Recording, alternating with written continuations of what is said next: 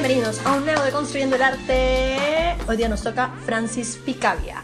Así que vamos a esperar un momento a que se conecten las personas, Dani también, que es nuestro curador, historiador de arte, para poder empezar este nuevo día, este nuevo sábado de Construyendo, un sábado de pandemia, de Construyendo el arte de diferentes maestros, de distintas corrientes u obras específicas. Cuéntenos, ¿saben acerca algo de este artista, maestro francés, al cual lo denominaría como un artista camaleónico? ¿Por qué? Porque pasa del cubismo, dadaísmo, surrealismo, fauvismo. Es una cosa exquisita e impresionante. Así que vamos a esperar un momento. Pueden, recuerden que pueden dejar sus comentarios, sus preguntas. Eh, igualmente sugerencias y en la medida de lo posible vamos a ir respondiéndola conforme eh, vamos avanzando en este tema. Así que nada. Hola, hola. Hola, Uy, espérate, creo que la pantalla está como que un poco Ahí está. ¿Qué tal? ¿Cómo estás? Ah, todo bien, tranquilo. Tranquilo, tranquilo. Bueno, con bastante cosas por hacer, pero todo bien. Eso es bueno, eso es bueno, siempre avanzando, avanzando. Voy a colocar por acá. Y estamos. Con frío también, ¿no? Porque hoy día se nos ha salido el sol, creo. Sí, bueno, no hace tanto frío como ayer sí hizo bastante frío, la verdad. Sí, ya en eso es como que boom, ¿no? Bueno, estamos acá grabando, bueno, no grabando, sino en vivo y en directo desde Lima, Perú, nuestro querido llamado Perú. Y el día de hoy vamos a deconstruir a este gran maestro que en realidad es bastante conocido por Europa, por Estados Unidos igualmente. Eh, voy a empezar un poco la introducción y la dinámica de este programa. En realidad, desde mi lado comercial, de marketing, números, subastas, eh, con qué galerías, con qué dealers ha trabajado estos, este artista, ¿no? Específicamente. Y Dani, desde todo el lado del background del artista, las corrientes a las que has pertenecido eh, y, digamos, todo este bagaje cultural que también carga la obra, ¿no? En sí. Y vamos a hablar probablemente un poquito acerca de semiótica también, ¿no? Que también eh, hay, hay, hay, hay, digamos, como que un ping-pong entre diferentes corrientes. Sesgarlo a surrealismo, sesgarlo a dadaísmo o avant es muy, muy, muy pobre. Y, y, lo que mencionaba era que es un artista camaleónico él, mismo mencionaba, y quiero quotear, quiero citar esto que me pareció exquisito, es, menciona, dice, lo que más me gusta es inventar, imaginar, crear de mí mismo en cada momento un nuevo hombre y luego olvidarme de él, olvidar absolutamente todo. Eso me parece muy potente y es lo que finalmente vemos en la obra. Y el por qué es que lo hemos elegido es porque en realidad Dani y yo hemos estado en tiempos distintos, para allá, hemos estado en tiempos distintos, años diferentes, pero la misma posición en el OMA, y eso nos dimos cuenta cuando hablábamos en WhatsApp hace un par de días. Dijimos, ¿de quién vamos a hablar esta semana? Nos habían hablado acerca de la revista Mauta, nos habían hablado de otros artistas más, pero igual dijimos, oye, qué coincidencia, Francis Picabia, sí, algunos no, no, algunas personas no sabían acerca de este artista, creo que para en la, en la, región de Latinoamérica tampoco no es que suene mucho, no, no tanto como un Picasso, como, ¿no? como otros artistas de, ese calibre, pero realmente es el uso de luz, el color, de ahí van a ver, ese es delicioso, de verdad. Así que nada, vamos a empezar, recordarles, esto es una conversación con ustedes, ustedes aportan preguntas, consultas, sugerencias, así que no tengan miedo de teclear. Vamos contigo, Dani. Bien, sí, como bien tú decías, Brenda, en realidad fue bastante curioso y bastante interesante, ¿no? Esa sinergia de tiempo y espacio que hubo en algún momento cuando eh, coincidimos en, en, una misma exposición. Fue interesante cómo tú, tipo noviembre, el mes de noviembre, eh, cuando se inaugura la exposición de Francis Picabia en el MoMA, tú asistes y yo cuando en enero eh, entro por primera vez al MoMA, subo al primer piso, lo primero que veo es esa exposición de Francis Picabia, un nombre que sí me sonaba porque en mis estudios de arte del siglo XX en la Universidad de La Habana, eh, la profesora lo menciona, pero lo menciona como un artista dadaísta. Y yo me asombro cuando yo comienzo a entrar en esa exposición y lo primero que veo son cuadros impresionistas, yo digo, wait, aquí hay algo que no, no me cuadra, aquí hay algo que no, no me suena con mis estudios eh, universitarios. Y yo dije, no, yo tengo que entrar, volví a salir de la exposición, vi el gran, eh, la gran presentación que hay en, dos paredes de esa muestra y en realidad comienzas a descubrir a un Picabia, comienzas a descubrir a un artista que tú dices, no se puede encasillar en un estilo, es un artista muy polifacético porque además no solamente fue pintor, hizo muchísimas cosas en vida que vamos a hablar sobre ello ahora. Y tuvo una vida bastante interesante, y tuvo una vida bastante fructífera en cuanto a eh, que vivió bien. Fue un artista que en realidad vivió bien porque vino, es decir, nace de una familia bastante acomodada. Su padre eh, es cubano, su padre es cubano, que eso es un dato bastante interesante que, que cuando comienzo y me adentro en la exposición, comienzo a descubrir que su padre era cubano y como era diplomático, va a trabajar como diplomático a la Embajada de Francia. Y en Francia conoce a su esposa, su futura esposa, que, eh, que es la madre de Francis Picabia, que era una vasco francesa. De ahí conoce a la madre, bueno, se enamoran, etcétera, y tienen a Francis Picabia. Como, como Francis Picabia nace en un seno de la familia bastante burguesa, bastante aristocrática, Francis Picabia tuvo la oportunidad de estudiar en la Escuela de Bellas Artes de París y en la Escuela de Artes Decorativas de París. Es decir, que va a dos institutos donde tiene una formación eh, muy completa y bastante eh, interesante. Francis Picabia es un creador que en realidad eh, no se puede encasillar en ningún movimiento artístico del siglo XX, porque es un artista que comienza con esa gran oleada de artistas modernos que son los impresionistas, que fueron los primeros en eh, comenzar a dar los pasos hacia la modernidad. Y es un artista que comienza a pintar paisajes y comienza a representar estos paisajes, la luz, con esta, con esta pincelada bastante impresionista. Incluso hay una frase de él que me gusta mucho que dice que, y lo cito, el impresionismo fue el cordón umbilical que me permitió desplegar los pulmones y aprender a nadar. Es decir, que él se lanza a la pintura, a este universo pictórico con el impresionismo y el impresionismo es quien le abre las puertas a todo lo que va a ir sucediendo y a toda la trayectoria que va a tener eh, este creador. Es un, eh, es un artista que fue cineasta, fue fotógrafo, fue actor, fue poeta, fue coreógrafo de ballet, es decir, hizo tantas cosas, sí, hizo tanto por el, universo del siglo XX europeo, sobre todo francés, que después se va a ir expandiendo por el resto del mundo. Y eh, incluso él, él, es, él es el encargado de hacer la coreografía del ballet eh, que es como traducido al español como suéltate, como libérate.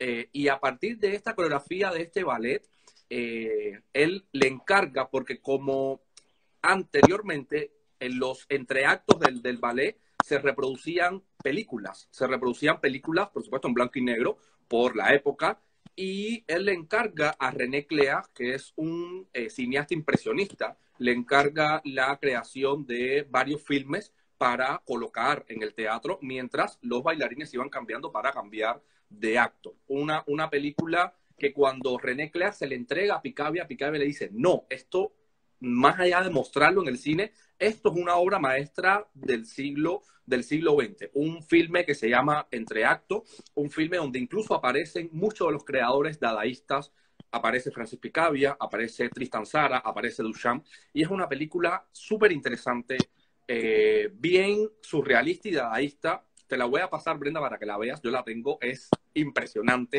Es, bueno, tú, la, la cabeza te hace así.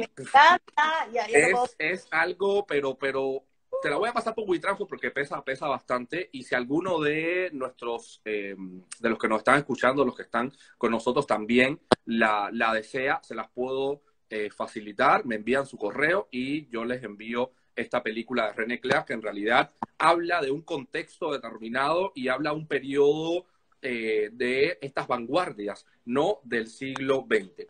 Pero, ¿qué sucede con Francis Picabia? Y esta exposición que que pudimos apreciar en el MoMA está muy bien curada, muy bien estructurada, porque en realidad lo primero que tú ves es la sala impresión. Bueno, Merizo, mira, se me eriza la piel nada más de recordar.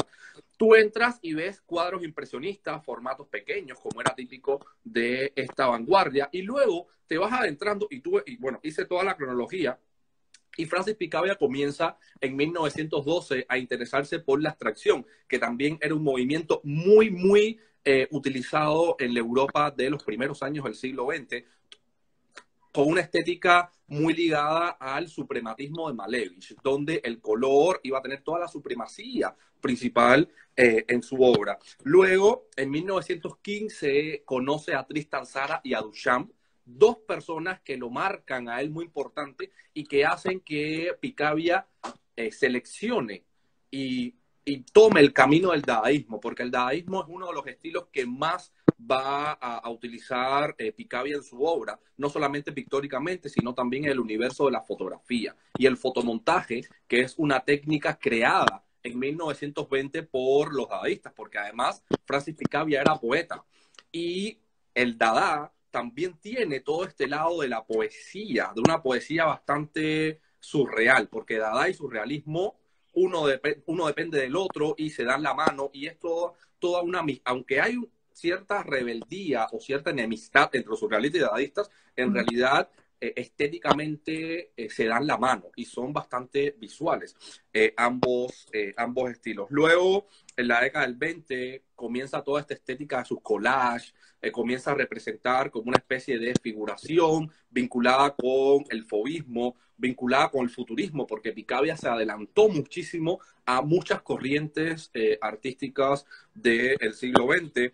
Luego, y algo interesante que Picabia realiza en pintura, que es una técnica eh, cinematográfica que es la, esa, eh, esa superposición de planos para lograr transparencias en el cine. Picabia la lleva a la pintura y, vemos todos estos cuadros de gran formato, porque son unos formatos bastante impresionantes, donde él comienza a superponer figuras femeninas, porque la figura femenina fue como un pilar eh, fundamental en la obra de, de, este creador y fue centro eh, de, toda su creación. Entonces vamos a ver cómo finales del 20 y hasta la década del 30, Picabia va a desarrollar todos estos cuadros donde la transparencia va a ser importante que viene del cine. Es una técnica que él eh, extrae de la cinematografía y de la fotografía del momento, porque hay muchos fotógrafos como Laszlo Molinagui, eh, Lucía Nagy, que era la esposa de Laszlo, que fueron grandes profesores de la Bauhaus, ellos en la fotografía utilizaban esta técnica de la superposición que también viene de, del cine, de la mano de rusos como eh, Sergei Eisenstein, que fue un gran cineasta eh, del momento y que tiene que ver con una técnica del montaje cinematográfico y cómo esa técnica del montaje cinematográfico se traslada de una manera increíble a la pintura. Y, yo recuerdo estar en esa exposición y, yo, mi mente y decía, no puedo creer lo que estoy viendo. Yo no conocía esta faceta de Picabia, era algo alucinante y le doy gracias a Dios, le doy gracias al universo que me puso en el MoMA, en el momento justo para poder conocer un poco más de este creador. Y ya en la década del 30 comienza toda una estética bien ecléctica de Picabia, donde comenzamos a ver eh, en su obra toda una mezcla de estilos que van desde un surrealismo mezclado con dadaísmo, mezclado con colores fobistas, con un expresionismo muy parisino, porque cuando hablamos de la vanguardia parisina, no podemos dejar de mencionar a este creador. Francis Picabia es un juega un papel fundamental y es un creador que casi nunca se habla de él. Cuando hablamos de la Escuela de París, es un artista que no se menciona. Hablamos de Modigliani, hablamos de Shane Sutin, hablamos de Marc Chagall, artistas que en realidad eh, son como que la historiografía les ha dado más importancia, pero esta muestra del MoMA yo creo que dio un gran paso para poder mostrar a un Francis Picabia que debemos tener en cuenta sí o sí en la creación. Y ya en los últimos años, los años 40, los años 50, eh, está muy vinculado con ya el universo de la fotografía, el fotomontaje, el cine, ¿no? Y eh, importante que que Picabia en realidad fue un gran artista que aportó al universo del diseño gráfico, a la tipografía, porque no mencioné, Francis Picabia fue tipógrafo y Francis Picabia creó tipografías de las primeras vanguardias del siglo XX. Y eso es algo que, que casi no sucedía. Cómo, los creadores, cómo este creador abarcó tanto y aportó mucho incluso a todo el pensamiento de la Bauhaus, a todo el pensamiento del siglo XX. Y sobre todo, Francis Picabia fue muy estudiado por Francesco Clemente, que fue un creador que se inserta dentro de la transvanguardia italiana, que fue un movimiento en Italia muy efímero, pero que fue muy importante para lo que posteriormente vamos a conocer como un arte italiano postmoderno, ¿no? Algo que quiero, que quiero eh, anotar y bueno, y dejar un poco en, la mesa, a ver qué cosa opina la gente que está conectada también eh, ¿Tú crees que finalmente no se le dio o no se, no se le reconoce tanto, digamos, como a otros artistas eh, parisinos, ¿no? Eh, y renombrados igualmente, que les han reventado bombo y platillo, por lo mismo que él ha pimponeado y ha estado y ha tenido toda esa versatilidad en diferentes corrientes. Tal vez sea por eso que no lo, no lo desean, digamos, como que como no se quedó estacionado, digamos, en una sola, ¿no? Por eso es que no le han, no, no, fue tan aceptado entre, entre, entre ellos mismos, ¿no? De alguna manera podría ser, no lo sé, lo dejo así como que en duda, ¿no?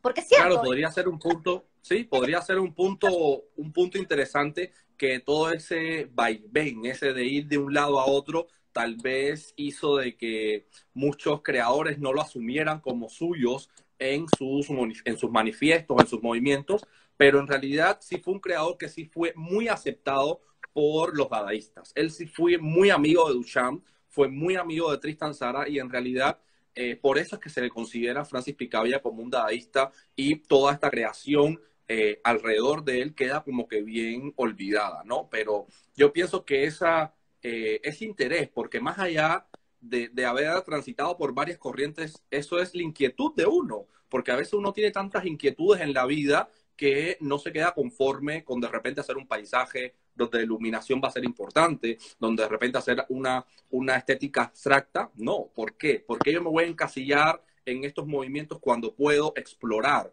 y cuando puedo eh, experimentar en buscando un lenguaje completamente moderno.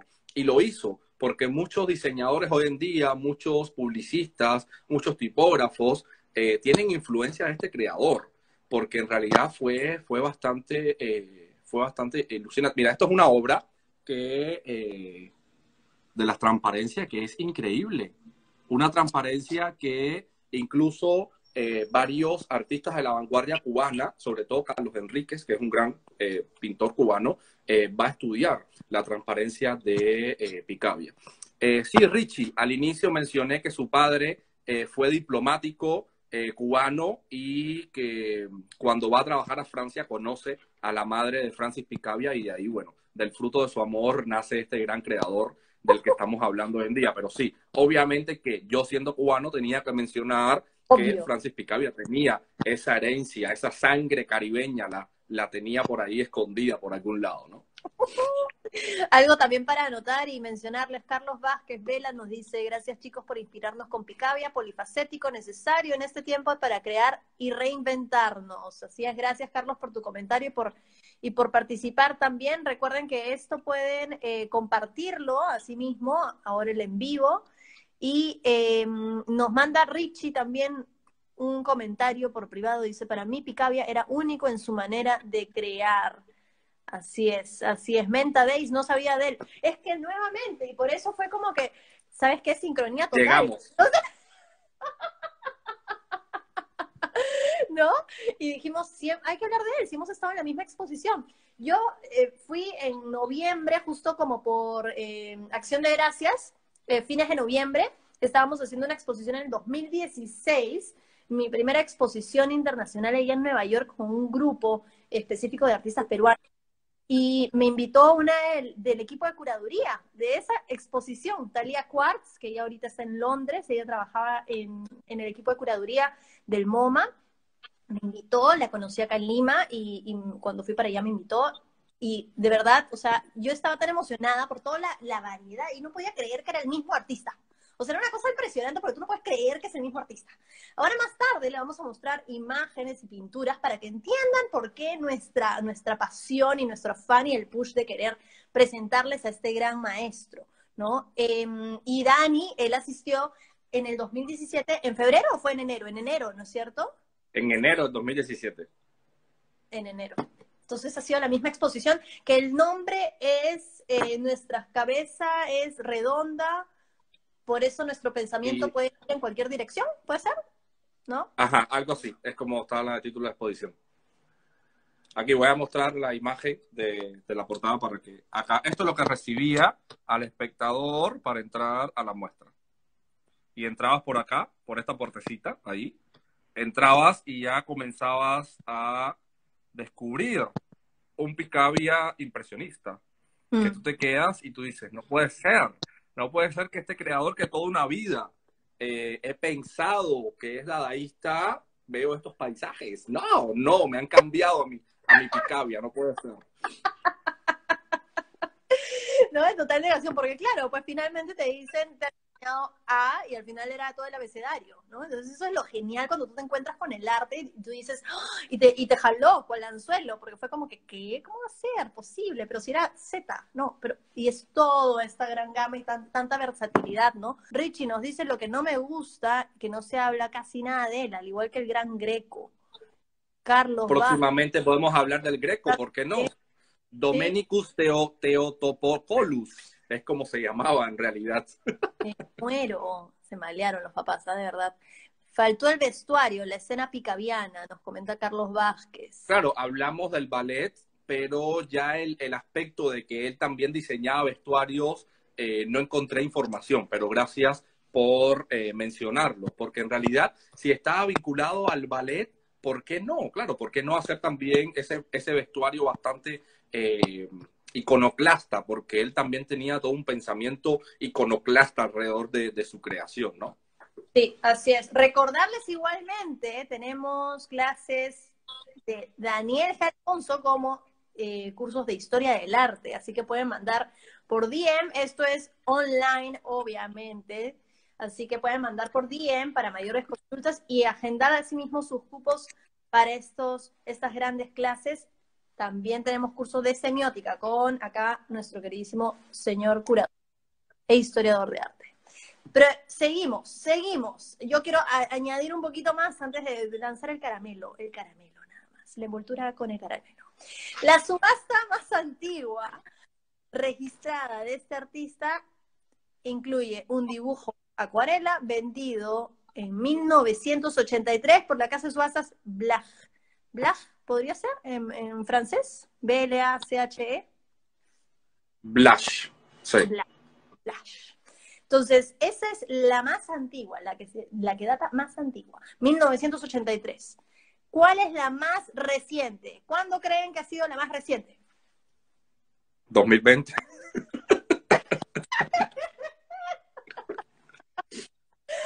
Así es, es un artista que a la fecha todavía sigue en circulación y sigue en el mercado. Así que estamos hablando de este calibre por el cual también, sí, llega a los millones, no llega a ser tampoco a los 100 millones de dólares, pero después vamos a ir repasando y revisando un poquito acerca de las cifras, ¿no? Quería darles... Es que, es que Brendy, yo pienso que no, no ha sobrepasado los 10 millones por el desconocimiento creo yo, que hay alrededor de, su obra y alrededor de su creación. Entonces yo pienso cuando en realidad, y tal vez esta exposición del MoMA, que fue hace tres años atrás, eh, puede como que revalidar o revitalizar un poco la creación de Francis Picabia. Tal vez necesitemos otra exposición más sobre él o que se hagan charlas, más charlas alrededor de la obra, conozcamos tal vez Francis Picabia nos ha dejado algún diario, algún escrito donde nos comente o donde nos diga por qué todo, por qué es tan, tan. Es que no me lo imagino. Estando en su taller pintando, deja la pintura a la mitad, se va a crear una coreografía, lo llaman porque ya está la escena número uno de la película. No sé, son tantas cosas que uno se pregunta que quisiéramos saber. No sé si habrá dejado, me imagino que habrá dejado descendientes, eh, que estén vivos actualmente, contactarlos y ver qué sucede, porque en realidad esta exposición fue gracias a eh, todo un aporte entre el Instituto de Chicago, entre Reina Sofía, entre varios museos internacionales que eh, gracias al aporte de ellos podemos y pudimos apreciar en su momento esta exposición, esta gran retrospectiva, porque es una, una retrospectiva, diría yo, como Dios manda, completita, bien estructurada, porque además habían eh, información textual bastante evidente porque decía, ya estás en, en, la parte abstracta y todo lo que vas a ver acá es abstracción. Pasas por otra puerta y hay un cartel que te dice, eh, ojo, ahora vas a entrar a su lado dadaísta. Vas al otro lado y ves fragmento de, de entreacto de, de la película de René Clea. Vas por el otro y así sucesivamente. Está la fundación, ojo, la fundación también tuvo que ver con, esta exposición y ellos serían en todo caso, ¿no? no son tan activos por redes sociales, pero ellos serían en todo caso como que la casa matriz de la obra, ¿no? Y de a quienes se podría acudir en todo caso. Eh, sí entramos en Instagram, pero en realidad pareciera que no, no lo manejan, eh, no, lo, no hay tanta actividad, ¿no? Pero ellos son, digamos, hoy por hoy los que, los que se podría referir, ¿no? Em, quería comentarles igualmente a qué colecciones pertenecen, pero si no, terminamos contigo, Dani, y de ahí ya después pasamos a números. No, ya podemos pasar a números porque en realidad eh, hablar de la vida de él, no, no encontré tipo un drama así como que bien guadalupiano así bien latinoamericano, así bien, bien de, de sufrimiento o llanto, ¿no? Para decir, no, él, eh, se le, no sé, le cortaron una pierna, sufrió una parálisis de repente mientras pintaba, no sé, no, no encontré ese tipo de información. Lo que, la mayor información que hay es su información visual y que en realidad para, para tomar los apuntes para este conversatorio que, que estamos teniendo ahora, eh, volví a revisar eh, mis, mis, imágenes de la muestra y en realidad eh, se puede. Eh, gracias a Dios que pude hacer, porque a veces voy a los museos y me emociono tanto que me olvido de tomar fotografías. Y entonces, a veces el registro fotográfico es importante porque nos ubica en tiempo y espacio y le pude tomar foto al 90% de la exposición. No a todo, pero sí al 90% de la muestra. ¿Qué artistas nos comenta? Eh, Stephanie Drogo. Eh, Gracias. ¿Qué artista actualmente creen que pueda estar en ese camino? Un artista actual, contemporáneo. Es que, ¿qué sucede, Stephanie? Muchos creadores, y eso sucede mucho en la actualidad, sobre todo los artistas jóvenes, y ya eh, cuando un artista se casa con un estilo determinado, le es difícil sortarlo y le es difícil eh, expandir su, su, horizonte de expectativas y decir, ya, yo estoy haciendo este tipo de obras, voy a cambiar. Hoy en día vemos creadores que eh, le huyen a ese eclecticismo visual y ese eclecticismo visual a mucha gente le da miedo, pero en realidad no podemos tener miedo a cambiar. No podemos tener miedo a realizar varias actividades que estén relacionadas con nuestro pensamiento, que estén relacionadas con lo que hacemos, eh, porque al final siempre hay nexos y siempre hay puntos eh, a través de los cuales nosotros nos podemos eh, y podemos establecer una unión, pero actualmente es muy difícil porque los grandes de los grandes, como de repente en Perú podemos tener a un Cislo, hizo lo mismo toda su vida, a un eh, hizo lo mismo toda su vida, eh, y fueron creadores que no, no variaron y no, eh, no, no, no hay tanto cambio como podemos ver en la obra de Picabia, en la obra de Picasso. Son genios, son estos grandes nombres que podemos mencionar y contar con, nuestras, con nuestros dedos a las manos. Ya más allá eh, no hay. ¿Por, ¿Por qué? Por el miedo que tenemos a explorar y a descubrir nuevos caminos. Pienso yo que por eso eh, no hay ese, esa versatilidad en los artistas hoy en día. Yo creo que finalmente también hay otro, otro punto que es muy, muy, muy, eh, que no hay que dejar de lado, que es el tema de que, claro, cuando entran a toda esa comidilla del mercado y de la industria del arte y lo que te marca, y si quieres ser un blue chip o no un blue chip, ya ahí ya estás metido en el circo. O sea, literalmente, alguien que podría ser como Picabia realmente sería alguien al que no le están dando bola hoy por hoy. O sea, el que no le están dando bola vendría a ser al que no le están eh, parando atención, prestando atención. ¿Por qué? Porque para haciendo esto y esto y esto y estoy para pimponeando. Usualmente tienen una personalidad muy de trailblazers. Trailblazer es como que el que marca su propio camino, ¿no? El que hace su propio eh, camino. Entonces, eh, es inquieto o es inquieta, quiere experimentar muchas cosas a la vez, ¿no? Entonces, probablemente haya alguien por ahí que tiene estas características, este tipo de, talento, ¿no? Y eh, podría ser, quién sabe, mañana más tarde un, próximo Picabia, ¿no? Em, bueno, comentarles igualmente, colecciones a las que pertenece, a ver, las pocas que he encontrado, que en realidad son bastantes y son que nombres, MoMA obviamente, el Instituto de Arte de Chicago, que también es muy importante, Patica hemos estado hablando, ahí la veo por ahí conectada, nuestra querida Patica, un abrazo y un beso, la queremos mucho artista peruanísima también de Arequipa. National Gallery of Art in Washington, D.C., Tate Gallery Londres, el Museo Reina Sofía, el Berkshire Museum de Massachusetts, el Pompidou, el Guggenheim, el Museo d'Art Moderne de la Ville de Paris. A ver si es que lo dije bien. Perfecto. Vamos a tener próximamente en el Art News una vía, una vía microondas en el Gran Palais. Así es, con Galería Unique Ah, muy ah. bien. El Gran Palais de, de París, de construcción de 1900. Sí, una belleza es. Y también en el Museo d'Orsay.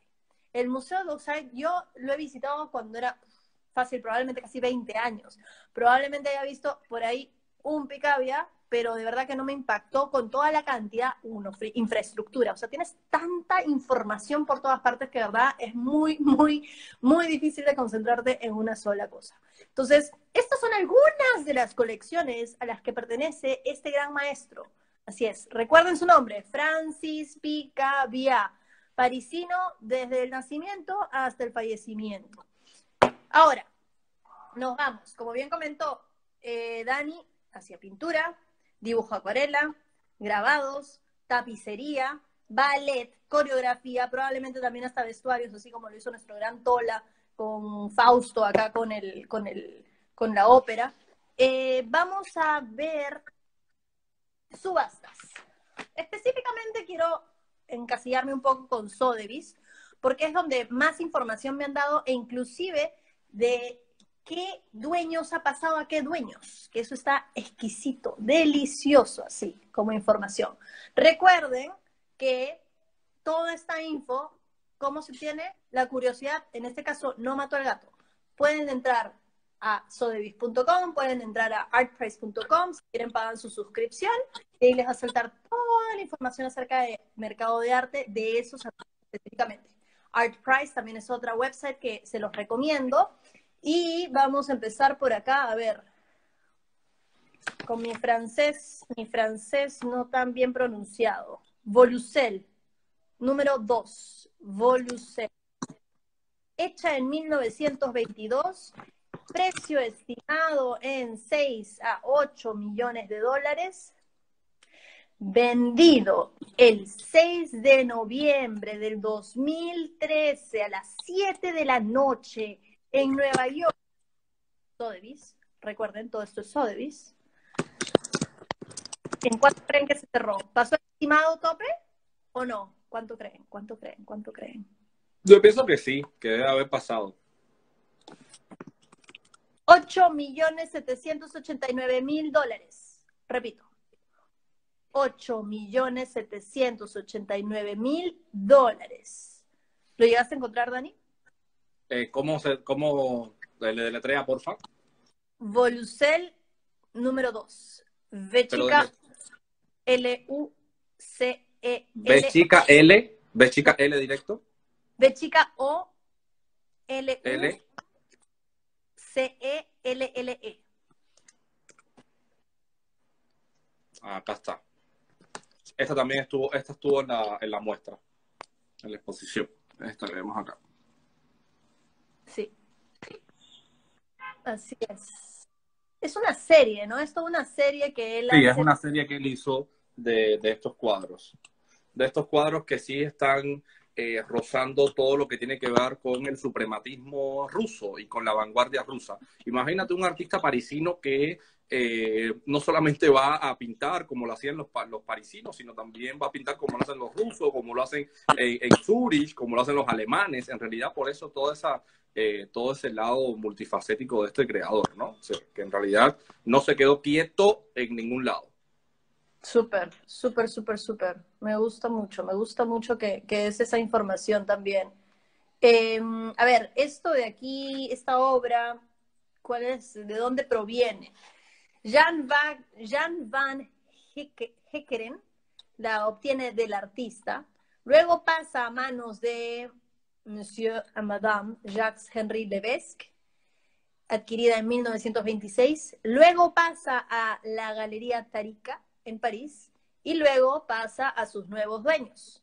¿Qué sucede? Esta obra, para que llegue a ese valor, ha sido exhibida en 1, 2, 3, 4, 5, 6, 7, 8, 9, 10, 11, 12, 13, 14, 15, 16, 16 diferentes instituciones, igualmente algunas galerías, entre París, Estocolmo, eh, Düsseldorf, Lisboa y Washington.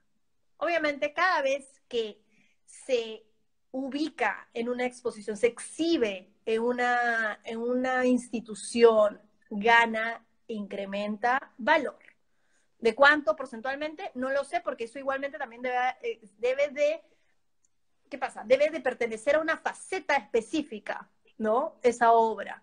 Es como el, el ADN, ni siquiera el DNI. El DNI nosotros le decimos al documento nacional de identidad.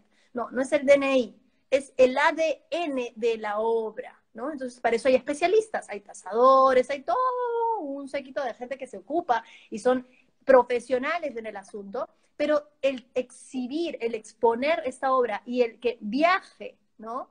Gana valor. Por eso que muchos coleccionistas lo que hacen también es prestar la obra y cuando ven en la anotación pertenece a colección privada, ¿no? Eso es bien interesante y bien importante porque asimismo después llegado el momento, cuando desean, la ubican en Sotheby's en este caso y la cierran en 8.789.000 dólares. Cuando se vende 6 de noviembre de 2013 a las 7 de la noche en el evento de Sotheby's Nueva York. Interesante, ¿no? Incluso hay coleccionistas que no tienen miedo a poner su nombre en, en las muestras y ponen colección el nombre de la persona. Hay quien sí es más reservado y sí pone colección privada, ¿no? Así es, así es. Luego, hay otra que se llama Atrata que es más o menos dentro de esta serie que habías presentado hace un momento, de como de, rostros eh, traslapados, ¿no? Revelándose uno a otro. Me encanta, me encanta, me encantan los ojos y las líneas más oscuras que presenta en esta obra específicamente. Atrata, pero con doble T o una sola T. Una sola T. Es A, pero junto todo, atrata. Sí. Acá está. Acá está, 1929. Acá la vemos. Hermosa. Se estimó en un millón quinientos mil dólares, bueno, no dólares, Great British Pounds, esos son libras esterlinas. Un millón quinientos mil a dos millones. ¿En cuánto creen que se cierra? ¿Pasó o no pasó el máximo estimado?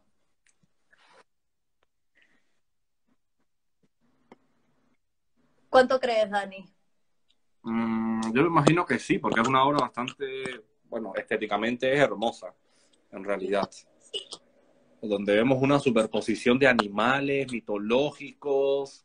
Eh, ¿Cómo él habrá logrado eso? Imagino que tal vez haya hecho una figura, se aburrió, pintó algo sobre encima y volvió a pintar y volvió a pintar hasta que, hasta que quedó este resultado, porque en realidad es algo, pero tiene, una, tiene, una, tiene una mano este hombre, pero increíble hace lo que le da la gana, qué horror. Qué bestia. Sandra, Sandra dice, Sandra dice que fueron cuatro millones. Uy, uy, uy, casi, casi, casi, casi. Tres millones setecientos veintiocho mil novecientas libras esterlinas. Bueno, son cuatro, casi, casi cuatro millones de dólares. Casi cuatro millones de dólares, sí, sí, sí, sí, sí, sí. Preciosa, me encanta, me encanta, me encanta, me encanta. Muy, muy bonita.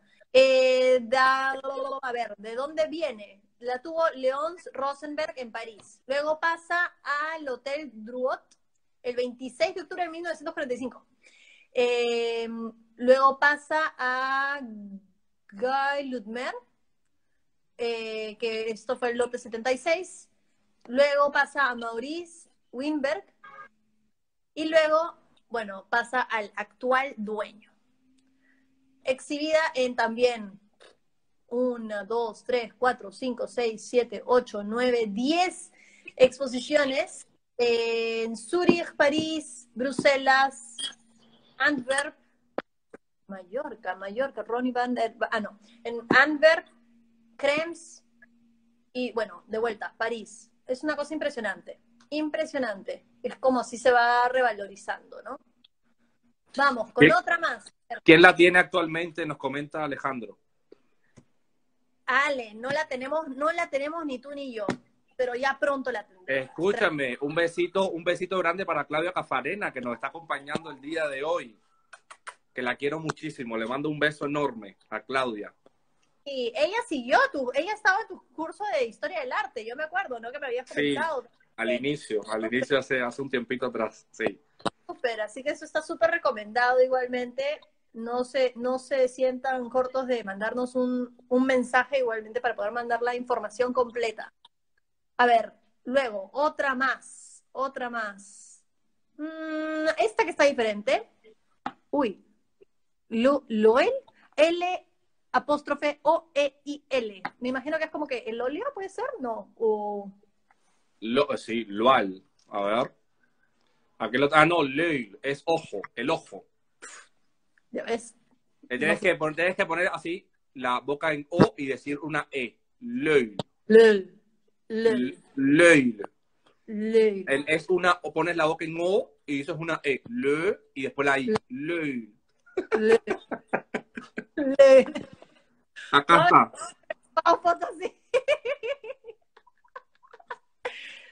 No, espérate, no, esa no. ¿Esa te ha salido? ¿No es esta? esta No, a ver, regresé. Escúchame, no, tengo acá otra. A ver, ¿cuál es la que tienes? Porque a lo mejor tiene el ojo de agua. Aquí dice el ojo cacodidat. Esta, mira. Ah, ah, ya, mírala acá. Bueno, es que son varias, pues, imagínate. Aquí estamos. Aquí está, aquí está. Varios ojos. Bueno, esta fue vendida y estimado en dos millones quinientos mil a 3 millones quinientos mil dólares y el lote fue vendido en 4 millones trescientos nueve mil dólares. Interesante. Sí, esto ya esto ya esto sí entra dentro de toda la estética del eh, de toda la estética bien dadaísta, de toda esta mezcla de objetos que vamos a ver en, en su obra, ¿no? Nuevamente, ¿a quiénes ha pertenecido? Robert Elcon Gallery en Nueva York, René Withoffs eh, de Bélgica, Galería Tarica de París. Así que esa, esa galería debe, todavía, o bueno, ha tenido bastante obra de este artista. Y bueno, y de ahí pasa a sus actuales dueños, exhibidas en Krems, Ferrara, Londres, París, Okazaki, Belén, Ceibú, Takanawa y I o sea, esto está pero también potentísimo, ¿no? Otro estilo, no es mi favorito, debo admitir, debo admitir que no es mi favorito. Mi favorito es las Femmes o e Bulldog, ¿puede ser? Femmes o Bulldog, que eso pertenece a... Esa no está disponible a la venta, esa pertenece al MoMA y esa es la que pueden encontrar en el vídeo justo que compartí ahora por nuestra, nuestra cuenta de Blockhart. Preciosa, esa de ahí me encanta. Yo amo esa obra. Estaba buscando que tengo una foto donde sale más o menos esta estética del de, ojo. Acá está, mira. Ajá, claro. Sí. Que es una estética bien dadaísta, bien constructivista, que tiene toda esta influencia de la abstracción rusa. Qué interesante que haya, que haya tocado así rasgos de, de la abstracción rusa, ¿no? Sí, sí. Porfa, puedes buscar Femme Bulldog, las mujeres y el bulldog. Esa me encanta, me encanta el contraste de color, la luz y literalmente yo sentía hasta la, la, risa de, de, las mujeres. Una de ellas, sobre todo. Femme o Bulldog. No me aparece acá, qué raro. ¿Cómo va a ser eso posible? ¿Cómo va a ser? Y no me acuerdo la imagen que pusiste en el, en el live. Bueno, voy a ir comentándote igual. A ver, veamos. Acá está. Ya la encontré, justo. A ver. La muestro por acá porque de verdad es, es muy, muy bonita. No sale. Ah, sí, no esa le- estuvo creo que en la muestra. Esa creo que estuvo en la muestra. Claro. Ella, ¿qué, ¿qué tal el corte de Marilyn Monroe? Un poco, ¿no? El azul, la luz igualmente sobre el cuerpo, la sombra. Impresionante, impresionante. Y los azules. La está, cosa- aunque está tapada por casi casi por el rostro, es pequeñita, no es muy grande. Está. Sí, así es, así es. Pueden ver un sneak peek de toda esa sala justo en, en- en el vídeo que acabo de compartir en el feed de, de Blockart. Y eh, vamos por una última obra más con, con precios que nos gane el tiempo. Eh, vamos por Ergo. Ergo, esa palabra que tanto me gusta usar. Ergo. Otro estilo. Van a creer, o sea, no, no pueden creer que es el mismo artista, literalmente. Patica dice, ahora estamos en curso de pronunciación. Ergo, que es muy abstracta. Bastante, sí. Tiene azules. Uy, qué linda. ¿Será esta? Me imagino. Espero que sí. Sí, esa misma. El estimado fue en 800 mil a un millón de euros y el lote fue vendido en 1.376.250 euros. Me da risa cuando dicen 50, cuando usan con cierres de 50. De locos eso. Mm, proviene de, a ver, pasa de la galería René Drouin de París a la colección, una colección eh, privada particular de París también, a um, Christy y Lionel Caballero de Galería Caballero en Cannes, a los actuales eh, dueños. Fue exhibida en Edimburgo, Madrid, Francia, Cebu, Düsseldorf, París, obviamente. Todo ello suma al valor de esta obra, pero como ven, es otro estilo. Patica dice que la vuelvas a colocar, por favor. Es, es- Voy, voy, voy. Voy allá. Acá está. ¿Has visto esos cortes como si fueran de salmón? Prácticamente ese coral Sí, abajo. pues, Parece un salmón. sí, interesante, ¿no? Sí. Y qué diferente, nuevamente. Es tan rico, es tan rico. Interesante cómo, cómo logra, porque sí es como que recuerda un poco al mar, ¿no? Por el color, tal vez por, por esa especie de medio figuración abstracto, puede ser como peces en el mar, ¿no? Como una especie de interpretación que le podemos, eh, le podemos dar a, a esta obra, ¿no? Interesante. Bueno, si alguien tiene preguntas, pueden preguntar lo que deseen. Así es, sí. Está, hay, bueno, hay más cifras, hay más números, nuevamente, pero el, tiempo nos gana. Instagram, y ese es un programa que, bueno, empe- empezó como de media hora y ahora es de una hora. Nos encanta igualmente que hagan todos sus aportes, sus, sus preguntas, comentarles eh, que puedan mandarnos también igualmente a qué artista deseen que, que podamos deconstruir en un próximo sábado. Estamos todos los sábados al mediodía, hora Lima, Perú. Eh, y bueno, nada, compartir este, esta de forma democrática, ¿no? El arte porque es para, para todos. Nos consulta Claudia. Eh, vamos a hablar del Greco la próxima semana. Creo que no hizo escultura ese artista. ¿ah? No he visto No, no, no, no. tampoco escultura. Dibujo. Tenemos una escultura que eh, hizo un amigo, eh, Fernando Belvea, que le hizo una escultura a Francis Picabia, le hizo un autorretrato, acá lo tenemos. ¡Ah! ¡Qué simpático! Me encanta. Este es Francis Picabia, según su amigo escultor. Pero escultura no, no llegó a ser, no llegó a ser escultura.